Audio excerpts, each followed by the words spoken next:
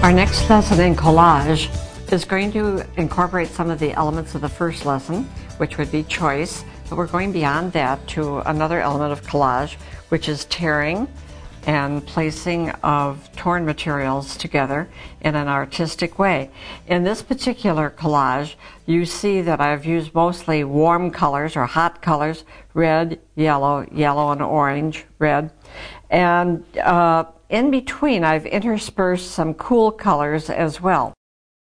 So right now what I'm going to do is I'm going to be taking this black piece of paper on which I've already torn one piece and paste it down.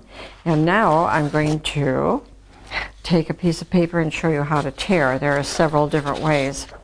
One of the ways to tear is to get your fingers right together like this and get them close together. Your forefingers here, your thumbs there, and keep them close together as you tear.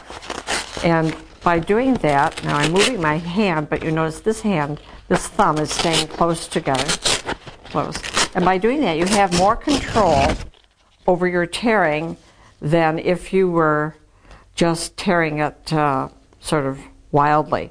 You need a controlled tear. On this side, we don't want that straight line.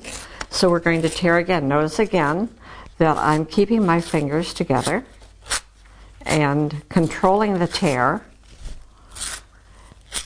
And in that way, it makes it much easier. It could be frustrating if you just try to tear it any old way.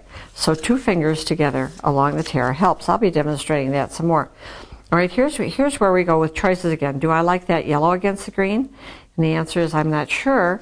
So I'm going to take a different, uh, I think I'll take the red. I'm going to show you how to tear again. And I'm going to this time put this down and tear in a very controlled fashion. Fingers tight against this part of the paper. These fingers down tight here. And this piece of paper has a white edge, which, as I said, is very nice. Looks good in some cases. I think I like the red better ne next to the green.